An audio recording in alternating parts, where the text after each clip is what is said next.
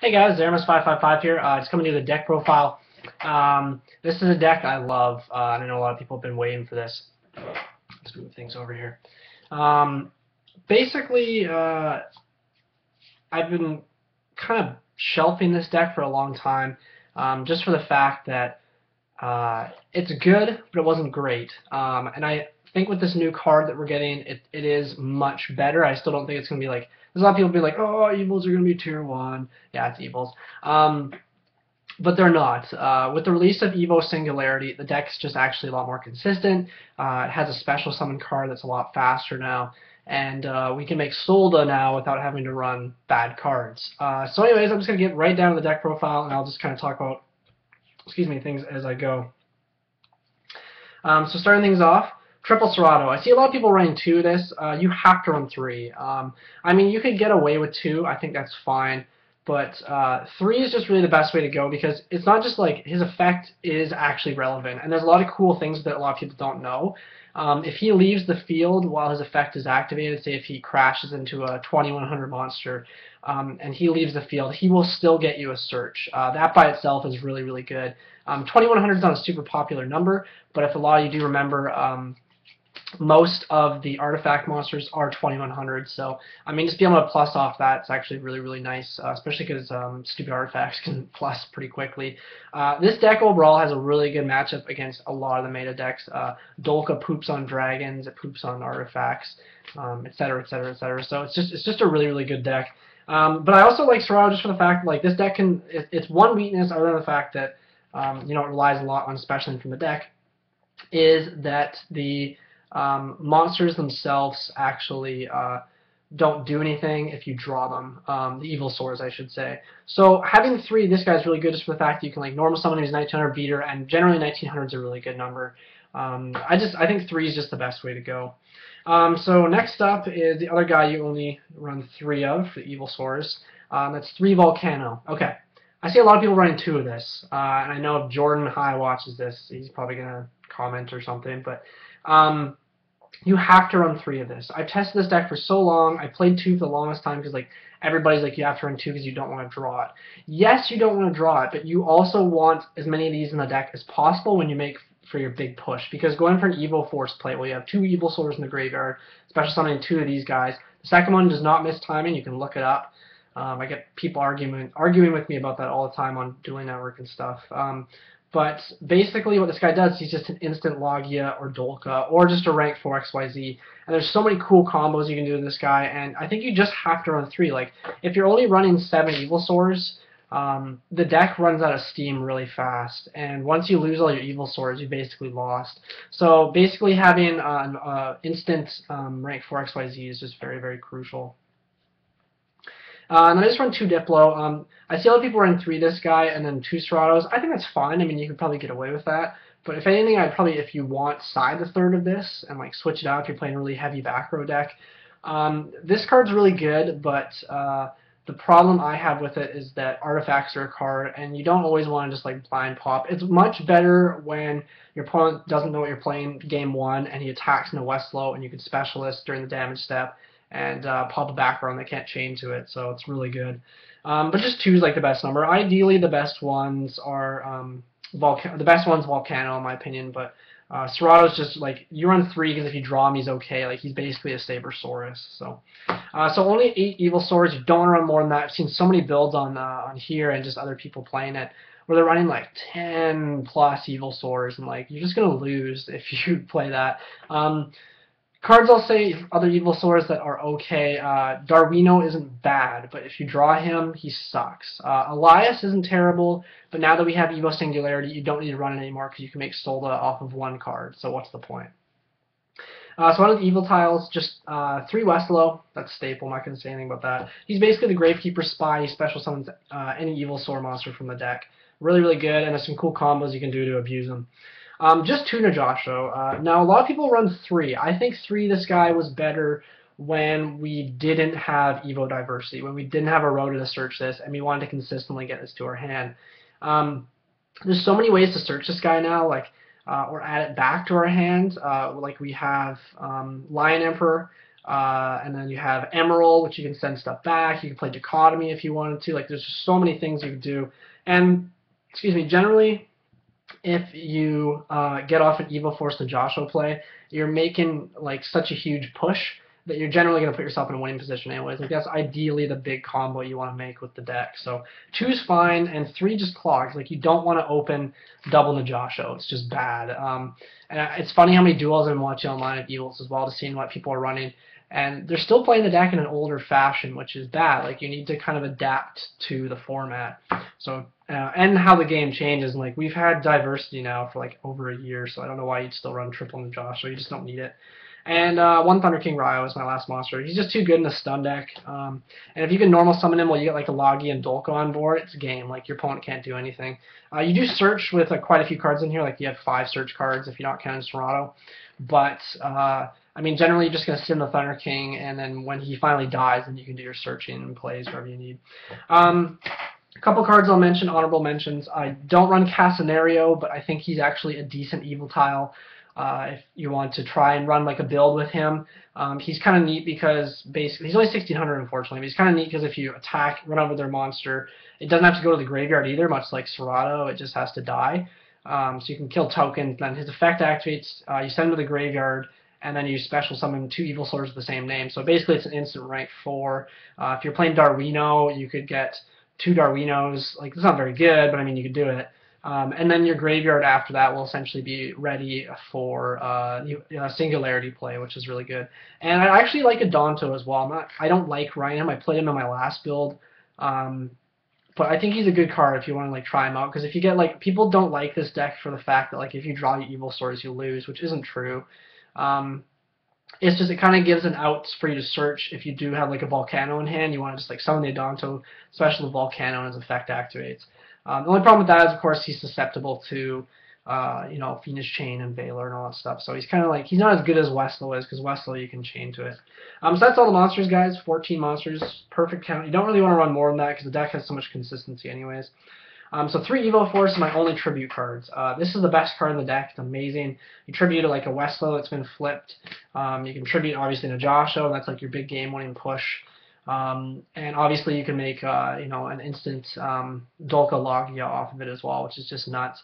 Uh, Najasho Uniforce also sets up Singularity faster than Westlo does, but I've had so many times where like you have Westlo set, you flip it, they wait for you to special um, Diplo, you pop a back row, they change Torrential, and then your singularities live as well. So I mean like stuff like that.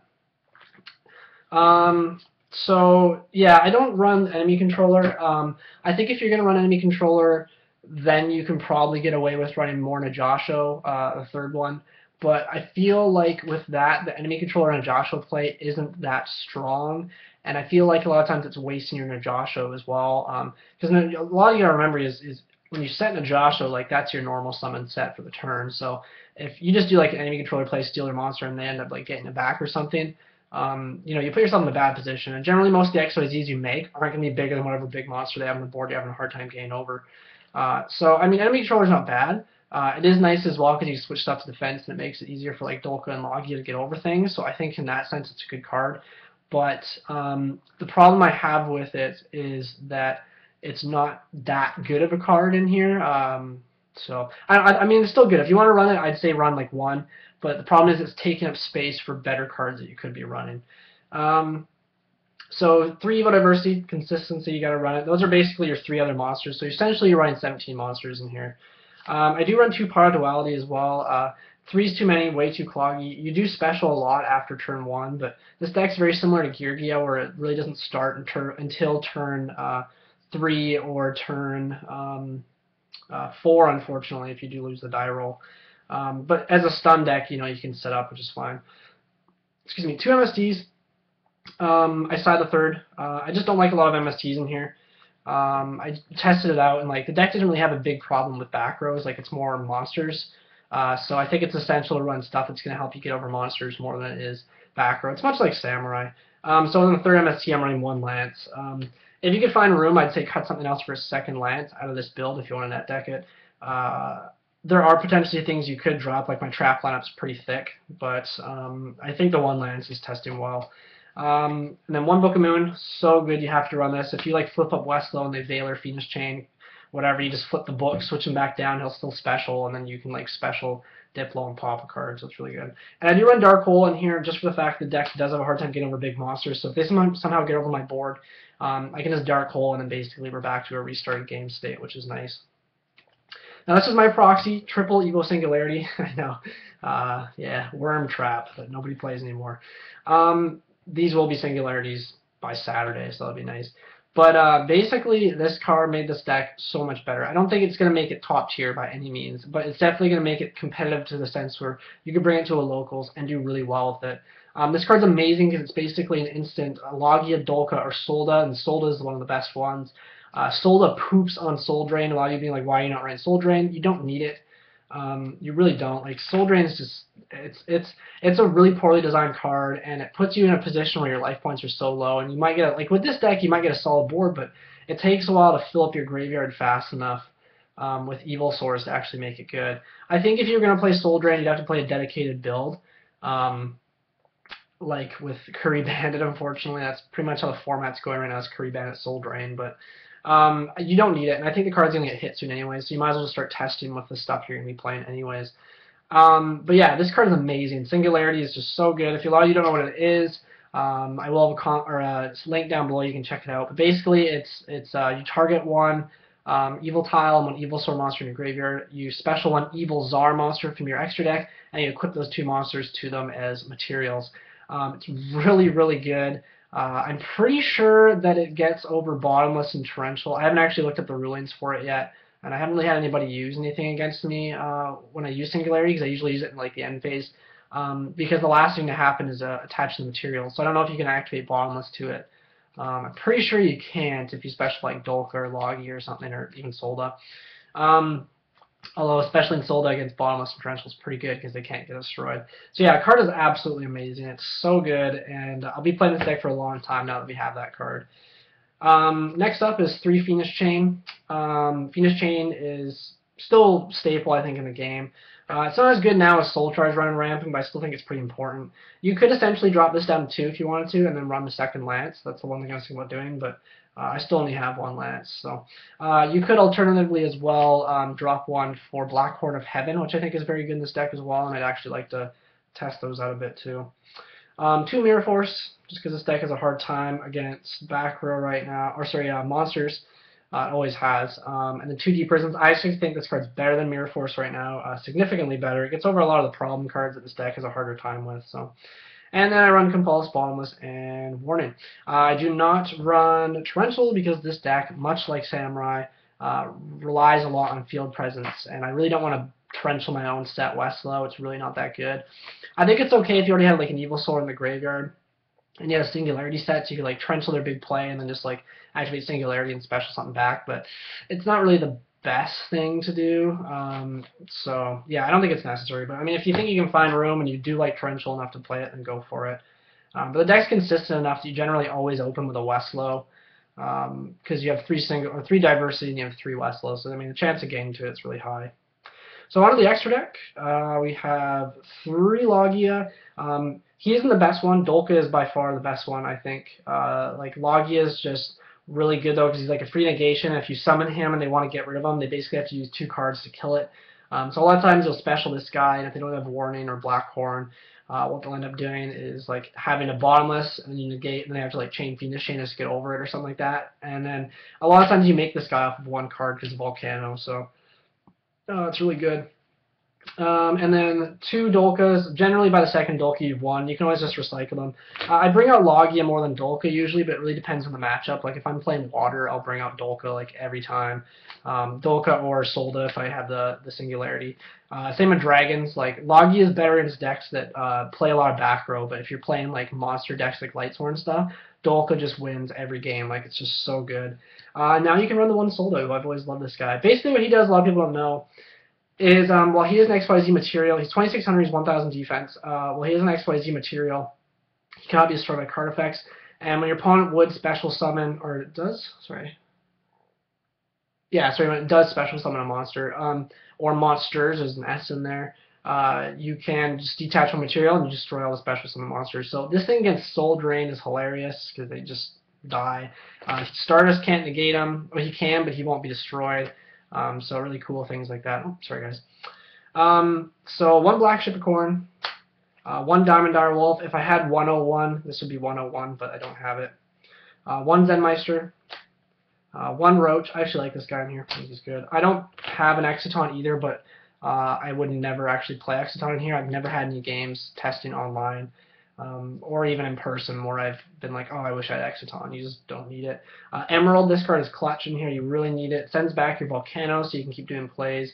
Um, if you can keep this guy on the board, obviously, and you just do it a second time as well, it's really good. Maestroke and Dweller's last rank 4. I don't run Cowboy just for the fact that Cowboy is really not that good. I mean, he gets over anything that's uh, what is it? Because he's 15. So anything that's 20 or 3,000 is it? And then he can crash. I think that's right. He gains. Yeah, and he can crash. But I mean, that's really not that good. So uh, and then for the two rank threes are one Zenmaines and um, Lion Emperor. This guy is really really good. Uh, two level three fires, so you can just make two Westlos, um, and then you just detach, add Westlo back. And if the Lion King survives, you get a plus one next turn, so it's really good. Um, anyways, guys, that's the deck. Sorry if it was kind of long, but I haven't done a deck profile for it in so long. I figured you guys want to hear some explanations about why I'm running what. Um, I love this build though. It's kind of what I've decided is the you know the way I'm going to be running it.